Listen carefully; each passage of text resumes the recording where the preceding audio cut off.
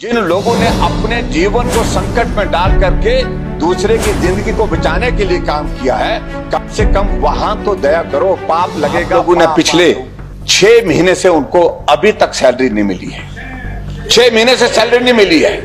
वादा तो आप गारंटी तो आपकी यह है कि पाँच लाख बेरोजगारों को रोज़गार देंगे। अध्यक्ष महोदय विषय यह है कि जो नियम शासन के अंतर्गत चर्चा का विषय लाने की आवश्यकता क्यों पड़ी? हिमाचल प्रदेश में आउटसोर्स में जो कर्मचारी लगे थे, उनकी संख्या लगभग लगभग, जो है, उनमें से लगभग दस हज़ार के करीब जो है, ऐसे जिनको आज सड़कों पर जो है वो छोड़ दिया गया है। उनको निकाल दिया गया है। दो हज़ार कर्मचारी तो हेल्थ हेल्थ डिपार्टमेंट के हैं। और कम से कम उस सारे विषय पर तो सोचना चाहिए। जिन्होंने अपनी ज़िंदगी को जोखिम में डाल करके लोगों की ज़िंदगी को बचाने के लिए काम किया उस वक्त। उस वक्त अध्यक्ष महोदय, मैं ये भी कहना चाह रहा हूँ कि परिवार के सदस्यों ने, परिवार के सदस्य अंदर जाकर के जो बीमार थे, उनसे मिलने से मना कर दिया। वो बच्चे थे जो जिन्होंने उनको रोटी खिलाई, पानी पानी पिलाया, दवाई दवाई खिलाई उनको। और उसके बावजूद आप लोगों ने पिछले छह महीने से उनको अभी तक सैलरी नहीं मिली है।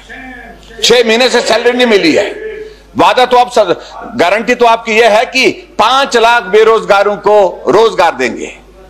इसलिए अध्यक्ष महोदय, इसका महत्व है, जिन लोगों ने अपने जीवन को संकट में डाल करके दूसरे की ज़िंदगी को बचाने के लिए काम किया है, कम से कम वहाँ तो दया करो, पाप लगेगा, पाप आप लोगों को। पाप इसलिए लगेगा कि उन ये पुण्य का काम किया प्लीज़ प्लीज़ जब परिवार के सदस्य परिवार के साथ नहीं थे उस वक्त। योर पॉइंट अध्यक्ष महोदय मेरा यही निवेदन है कि इजाज़त दी जाए कि जो आउटसोर्स में लगे हुए कर्मचारी हम मानते हैं कि आप आर्थिकी तंग आर्थिकी की दृष्टि से कठिनाई में गुजर रहे हैं वो तो हम भी गुजरे हैं। ऐसा नहीं है कि आप सब वो पूर्व में सरकार जो है सारा क्लियर करके गई थी कोई पैसा देने को नहीं था। थैंक यू थैंक यू तो इसलिए मैं आप सबसे यही आपसे निवेदन करना चाहता हूँ अध्यक्ष महोदय हमारे नियम सतासठ के अंतर्गत जो दिया गया नोटिस है उसको स्वीकार किया जाए। ये तुरंत चर्चा होना चाहिए ताकि ऐसे लोग जो ऐसे नौजवान जिनको रोज़गार दिया था उनको रोज़गार बंद कर दिया गया और खासतौर से कोविड में लगे हुए जो बच्चे थे उनकी उनकी नौकरी का विषय है उनके काम का विषय है उनकी सैलरी का विषय है उनके परिवार का विषय है इसलिए थैंक यू अविलंब चर्चा की जा रही है